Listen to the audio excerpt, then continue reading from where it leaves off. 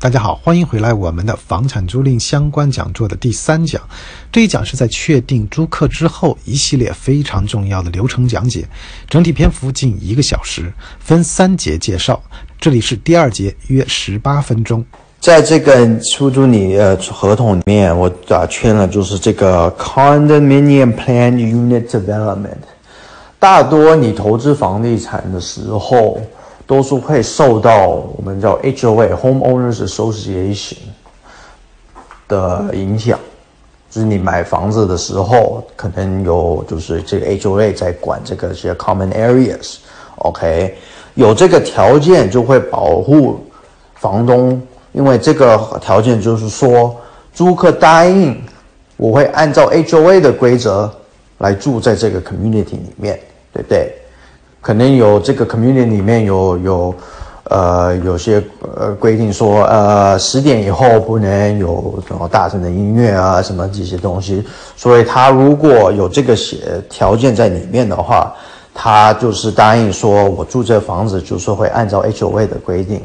哎，如果租客不按照的 HOA 的规定，你就有权就是可以把这个租要要这个租客就搬走。OK。在这个我会再插一句，OK，因为刚才我提了，就是修房很多最大的一个问题，很多遇遇遇到的问题就是，啊，我能不能就是做 inspection，对不对？很多我租给一个租客的时候，啊，很多人想要做做一个，呃，说每个每年都是会就是做 inspection。OK，我会发，现在发给你们一个这个啊一个法律协调。好，我发了这个也是就是一个照片，这是 Civil Code 加州法律 Civil Code Section 一九五四。这个条件就是说，A landlord may enter the dwelling unit only in the following cases。意思就是。房东只有权利进一个租客的房子，如果遇到他列出来的这种情况，第一个，in case of emergency，就是如果遇到就是比较比较就是 emergency 的情况的时候，当然房东就是有不需要租客的同意就可以进门，OK，这个是。这个当然是很 common sense 的一个东西，对不对？如果突然水管开始漏水了，然后有 flood 啊，这些这是等于是 emergency。OK，有个客人就是问什么是 emergency，就是说如果要报警或是打九幺幺的话，呃，这算是 emergency。呃，真正能够就是给一个真正的 emergency 的意思，真的是每一个状况都是不一样，对不对？啊，可是如果不是比较赶的事情，那几乎也没办法，就是说是 emergency。好，第二是 to make necessary or agreed repairs, decorations, alterations or improvements, supply necessary or agreed services。这个就是说，如果有东西要修，跟房租客答应说可以修。 房东就有权利可以进这栋房子，OK。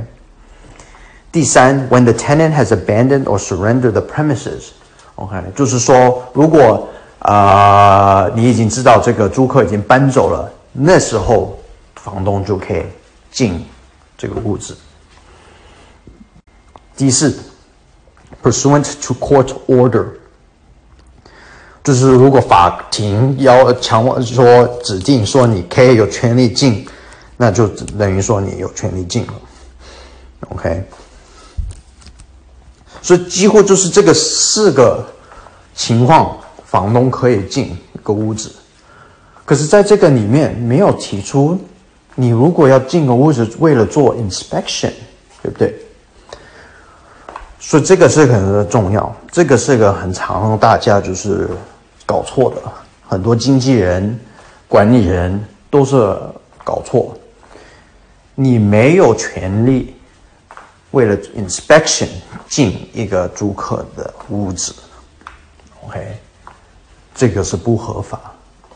你如果在这个条呃合同里面有说，每个年必须要有做 inspection，OK，然后租客也是要让说可以做 inspection，OK，其实这个条件在出租合同是不合法的，OK，所以你不要做 inspection。我知道很多租房东都说啊不能做，那我怎么知道这个租客在这屋子里面有做什么东西？几乎这也是一个就是一个风险，对不对？所以我就说，你如果没有好好的事先做这个调查，决定要不要住这一个人，你如果一租给这个人的话，几乎你要知道他这个人在屋子里面是不是干净，有没有做什么不对的事情，是非常难。OK。for 这个 Civil Code Section 一九五四就指定了提出什么情况可以进一个租呃租客的屋子，没有包括 inspection。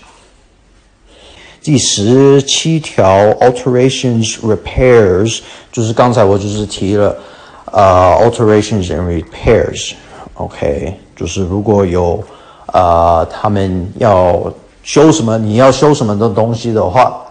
OK，就要按照这个合同来处理。第十九条 Entry，这个是很重要。假如说，哎，租客是告诉你说马桶坏了，要修，你找了一个 Contractor，说，哎，我的租客说这 Contractor 有什么问题啊？呃，Contractor 说这个，呃，不好意思，呃，租客说马桶有问题，你找了 Contractor，OK。Contractor 如果要进一个租客的屋子，你必须要给二十四小时，至少给二十四小时的通知 （twenty-four hour notice）。我说至少，你要给四十八小时、三十六小时的通知都 OK，可是至少要给二十四小时的 written notice，这很重要。written notice，written notice 不包括邮件，也不包括 text messages。OK，written notice，OK，所以你必须要写下来，贴在租客的门上。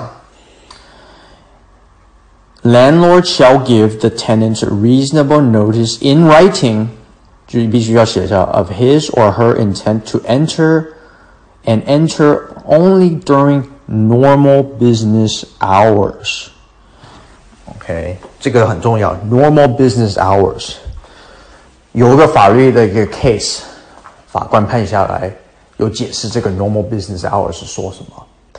Normal business hours 说周一到周五九点到五点。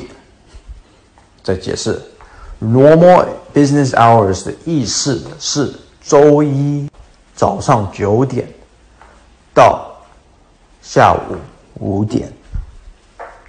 周一到周五，OK，Monday to Friday。所以这是什么意思啊？如果你找到 contractor 想要修，或者你要自己修房子的话，很多是房东说：“哎，我要为了省钱，我自己就可以修。”哦，可不可以？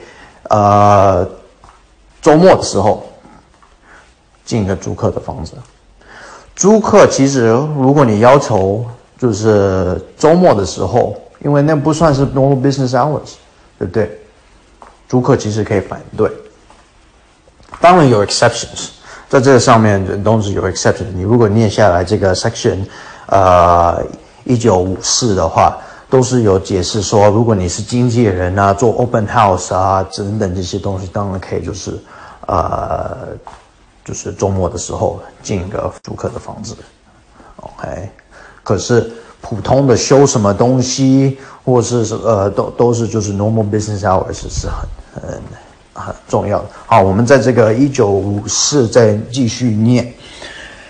The notice 就是这个通知 shall include the date, approximate time, and purpose of the entry。所以这个通知必须要列出来哪一月、哪一天、几点。原因为什么要进门？OK，the notice may be personally delivered to tenant。 就是亲手的拿给这个租客，或者是 left with someone of suitable age and discretion at the premises。suitable age 这意思至是解释是说至少满十八岁。OK。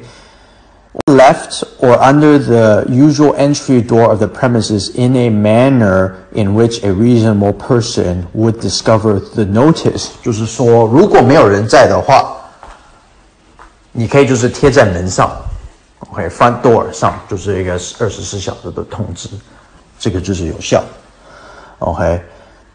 在这上面有解释，twenty-four hours shall be presumed to be reasonable notice in the absence of evidence to the contrary，就是至少要给二十四小时。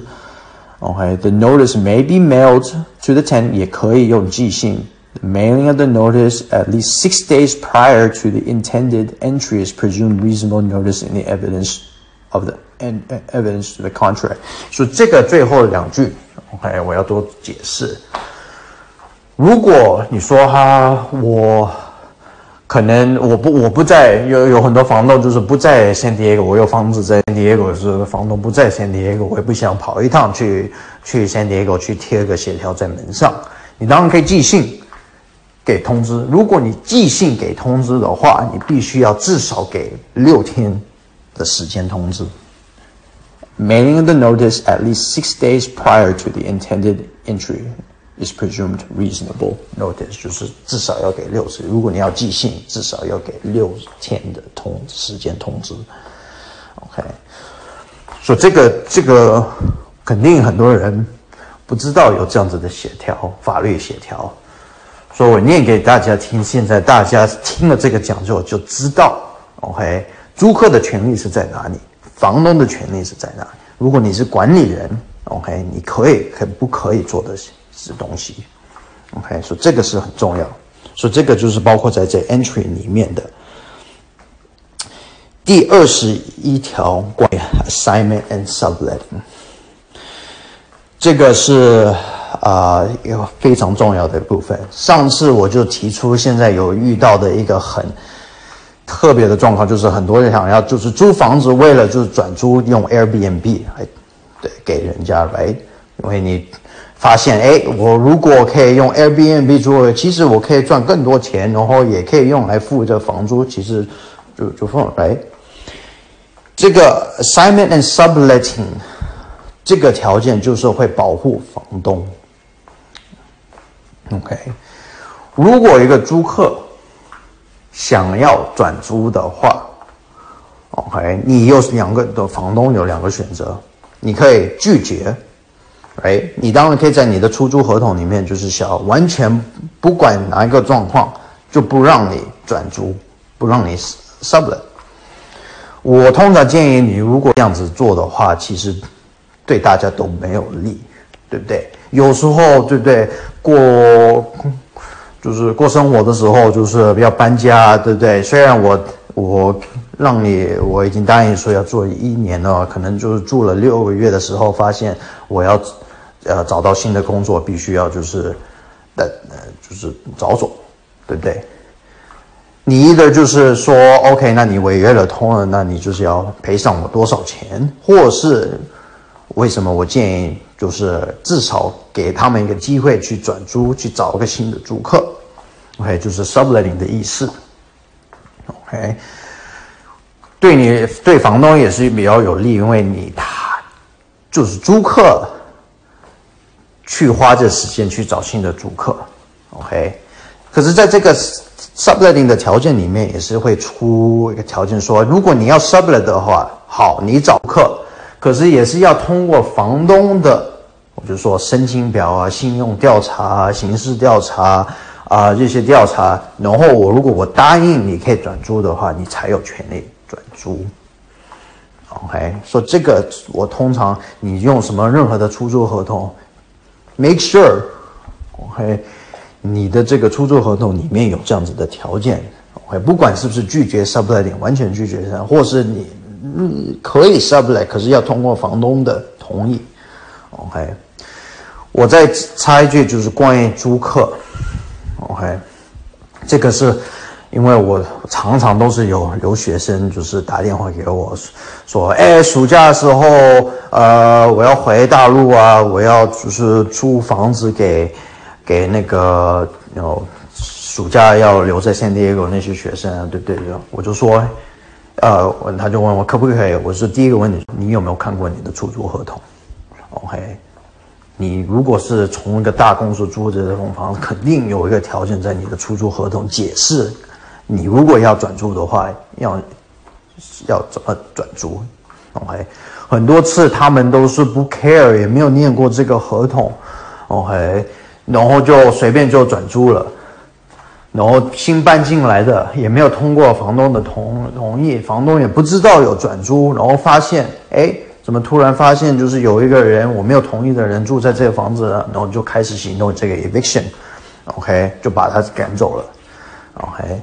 所以这个是呃一个很大的一个风险，就是在这里，尤其是对租客，因为如果我是一个 subleaser，我我变成二手房东租给一个人，可是我没有权利租给这个人的话，我住搬进来，然后突然房东要赶我走，说我没有权利住在这里面，OK，那几乎我我自己就倒霉了，对，对，所以你要很小心，你如果。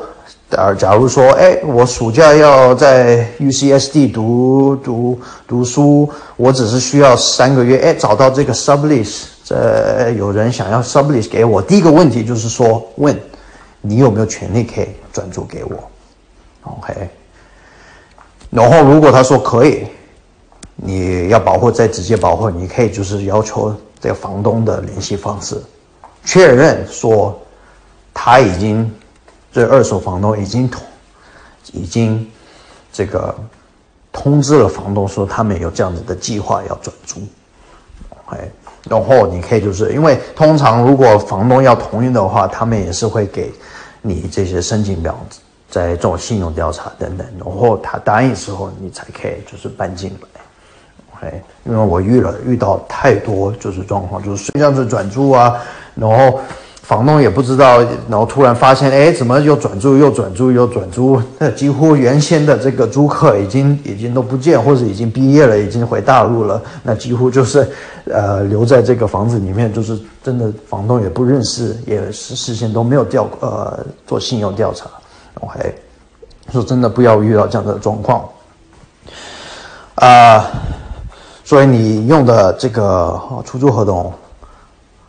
要有一个条条件解释，如果要转租，要用什么方式来转租？